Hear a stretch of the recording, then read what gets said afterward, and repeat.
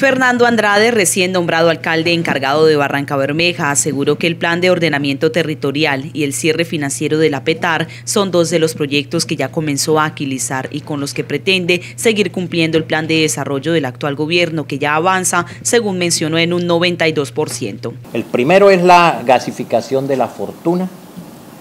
eh, la construcción del acueducto de Yacaranda en, en la meseta de San Rafael, la terminación de aproximadamente 3.4 kilómetros de la vía al corregimiento el centro, llegando casi a Pinchote. vamos a, trabajar con ellos también en la realización de unos proyectos eh, productivos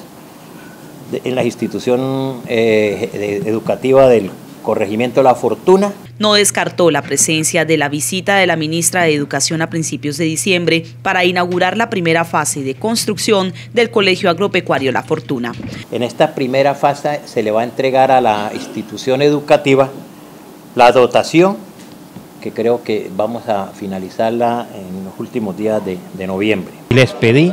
un informe de gestión, voy a sentarme con cada uno de ellos, vamos a revisar el cumplimiento de las metas, que es los que nos exige la ley, y en base ya a, esos parámetros estaré tomando unas decisiones. Sobre Ciudadela Centenario, esto dijo el mandatario, quien no descartó cambios y movimientos en el gabinete municipal en los próximos días. Una vez se presentó al Ministerio de Vivienda la revaluación por fases,